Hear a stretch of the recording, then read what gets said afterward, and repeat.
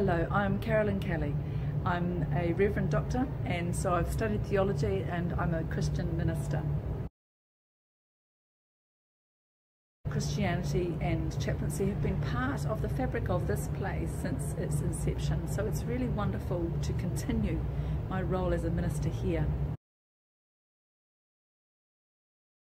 So I would like students to know that chaplaincy is here to be alongside them and to help them explore explore questions of meaning and faith and what it means to be a world changer in this unusual time. It's thrown up a lot of questions for people and I think the ancient faith traditions bring really significant traditions of wisdom and reflection and prayer and music but they're also adaptive and able to think into the future. So that's important to me as a minister, as a chaplain, and I hope to meet some of you personally and we can discuss these things at leisure in, in the future.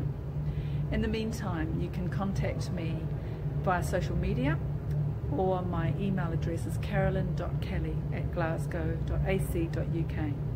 Look forward to meeting you sometime. Thank you.